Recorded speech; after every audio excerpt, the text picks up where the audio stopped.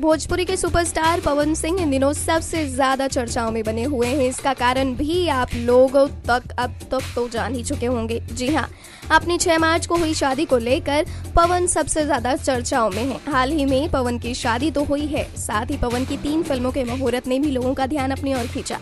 दरअसल पवन की शादी की कुछ तस्वीरों को देखकर कई लोगों का कहना है कि पवन शादी में दुखी दिखाई दिए। लेकिन क्या आप लोग जानते हैं कि क्यों पवन इस शादी में जरा सा भी हँसते हुए नज़र नहीं आए?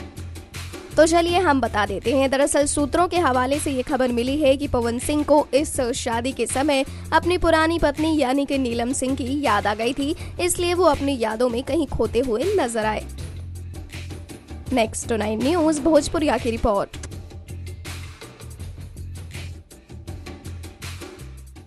Next two nine news Bhojpuria के सब्सक्राइब करें, और लेटेस्ट अपडेट खातिर बेल के आइकन वाला बटन दबाएँ।